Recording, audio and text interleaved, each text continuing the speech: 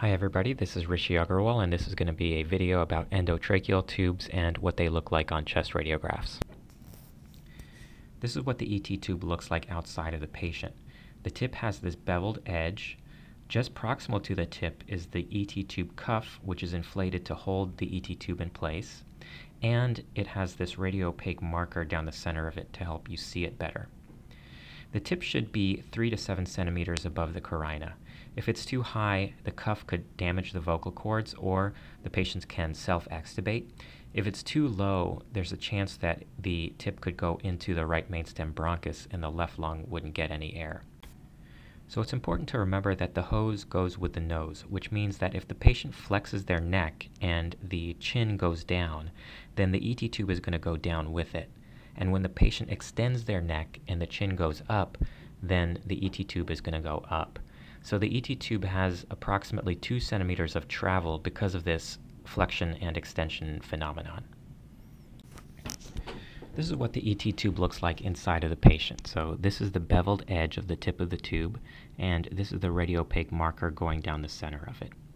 This is the carina right here, and this is a patient who it's easy to find the carina.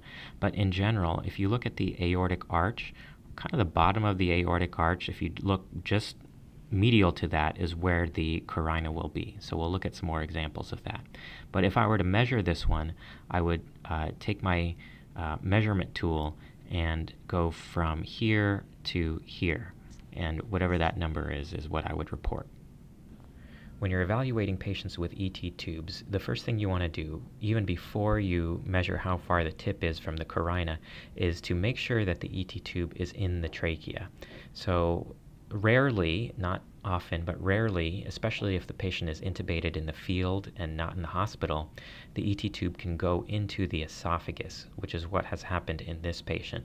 So the trachea is right here, and the, the esophagus is just to the left of that. So another sign that the ET tube is in the esophagus and not in the trachea is that the gastric bubble is distended in this patient.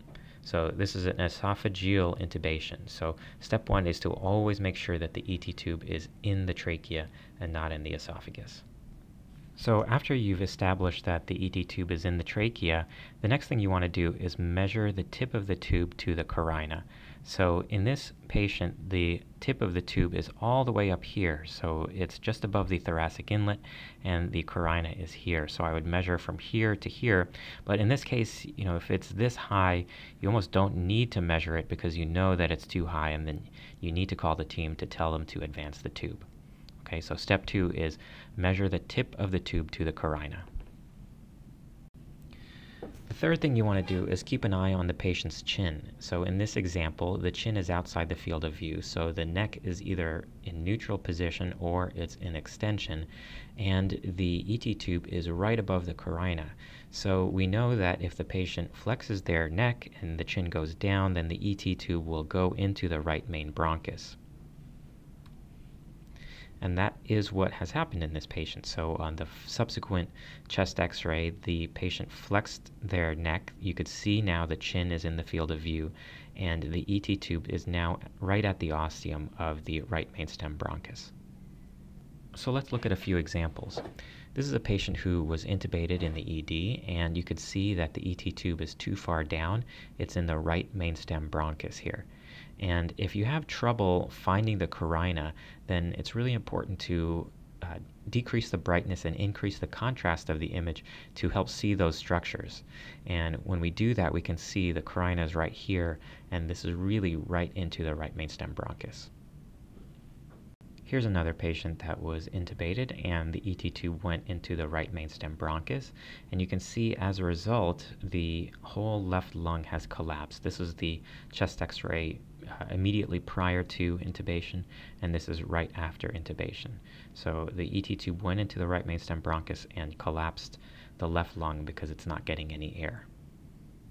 If you have any questions about this topic, please feel free to email me or you can leave a comment on this video.